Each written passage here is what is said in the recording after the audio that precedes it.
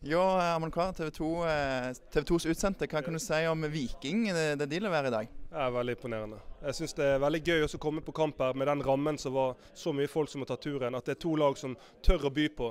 Som ser ut til å om det kommer noen sjanser imot, om det er noe rom eh, som åpnes defensivt, så får det heller bare være to lag som tør å angripe. og En veldig åpen kamp. Nesten overraskende åpen. Og så syns jeg at Viking, når de tar ledelsen, så gjør de egentlig alt perfekt. Tør å være rolig med ball.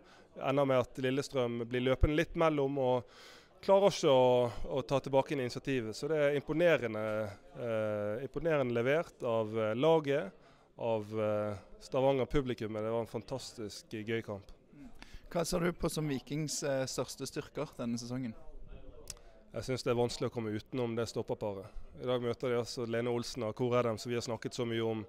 Lillestrøm har lagt om formasjonen for å få plass til disse to eh, bassene, disse to superspissene. Og så tar egentlig eh, Brekalo og Stensnes fullstendig luen av dem. Eh, vinner vel 99 eh, av 100 dueller i luften. og spesielt Brekalo nå. God på Lerkendal, fantastisk i dag. Det er en kjempestyrke for Viking å ha, ha stopper av den kvaliteten. Og så tror jeg når sommeren kommer at de skal slite med å beholde Brekalo.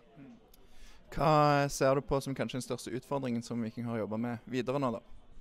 Eh, største, Jeg tipper at det er en eh, Lars Jørgen Salvesen som har veldig lyst til å komme seg i gang med med mål, mål uh, få hull på byllen i Eliteserien. Uh, men jeg syns han, han, jobber godt. Han uh, blir litt uvenn med dommeren i dag. men så tror jeg egentlig at over disse to kampene ser jeg ikke noe sånn her må Viking ta grep. Syns de har prestert godt. Jeg syns de har en veldig spennende, ung, dynamisk midtbanetrio. Solbakken har tatt kvantesprang fra jeg så han i Stabæk, og syns Jasbekk Nilsen-Tangen ser bra ut. Sånn at egentlig tror jeg det handler for Vikings del å bare bygge videre på det de har gjort så langt i oppkjøringen, for det ser, eh, ser bra ut. Går turen rett hjem nå, eller skal du nyte nattlivet i Stavanger uh, før du reiser? det blir ikke noe Beverly på meg. Jeg uh, skal til Intility og dekke Vålerenga-Sarpsborg i morgen. Så jeg skal få i meg noe middag, og så er det rett i seng. Takk for at du tok deg tid til oss, og god tur hjem. Takk. Takk skal du ha.